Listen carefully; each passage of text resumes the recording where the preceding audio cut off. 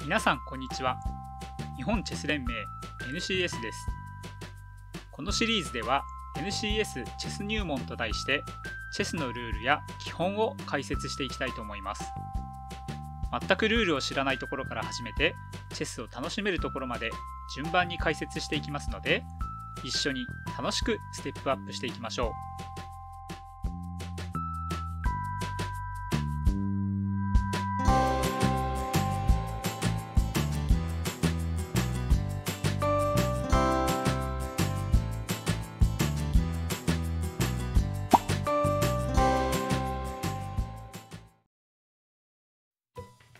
前の動画ではコマの並べ方を覚えました。この動画ではコマの動かし方を学びましょう。チェスには6種類のコマがあります。これから1つずつ動きを覚えていくことにしましょう。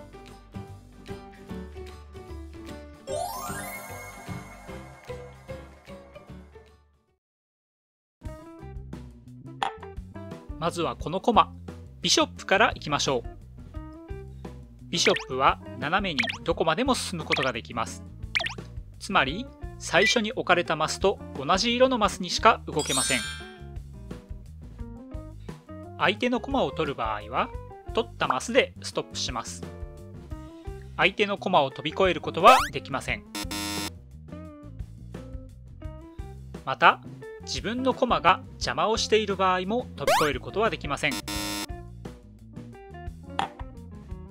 次はお城のような形をしているルークを見てみましょ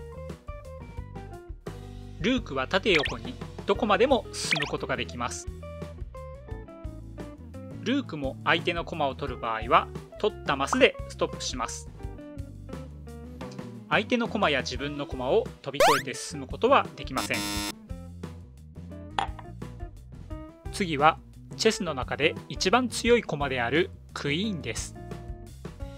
クイーンはビショップとルークを合わせた動きをします。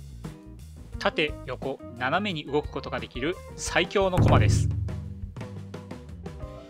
ビショップやルークと同じように相手や自分の駒を飛び越えることはできません。相手の駒を取った場合はその場でストップします。次はチェスで一番重要な駒であるキングです。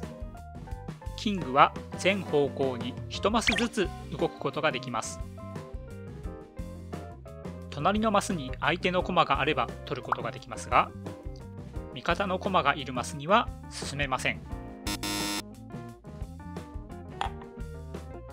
次にナイトを見てみましょう。馬の形をしているのが特徴ですがその姿通りてもトリッキーな動きをします。ナイトは将棋の桂馬と同じように2マス進んで1マス横のマスにジャンプすることができます。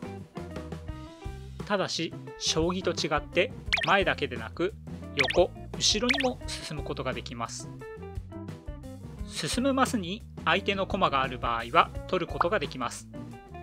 自分の駒がいる場合そのマスに進むことはできません。近くに駒があっても関係なくジャンプすることができるので最初のうちは動きが見えづらいかもしれません。ナイトは白マスから黒マス。黒マスから白マスのように自分がいるマスと違う色のマスにジャンプするので色を意識して覚えてみましょう。最後にポーンを見てみましょう。ポーンは前に1マスずつ進むだけの簡単な動きをします。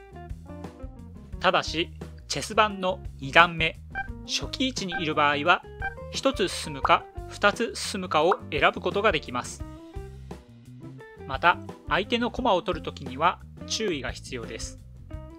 ポーンだけは自分の進行方向にある駒を取れません。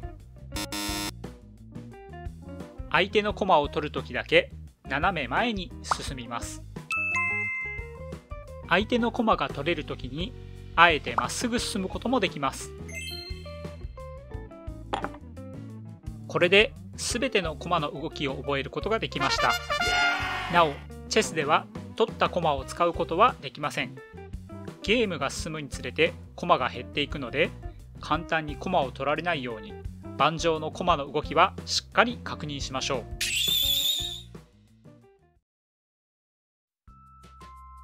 ここまででチェス盤に並べた駒を動かすことができるようになりました。さてチェスには状況に応じた特殊な駒の動き方があります。ゲームができるようになるまでもう少し。次の動画では特殊ルールを覚えていくことにしましょう。最後までご視聴いただきありがとうございました。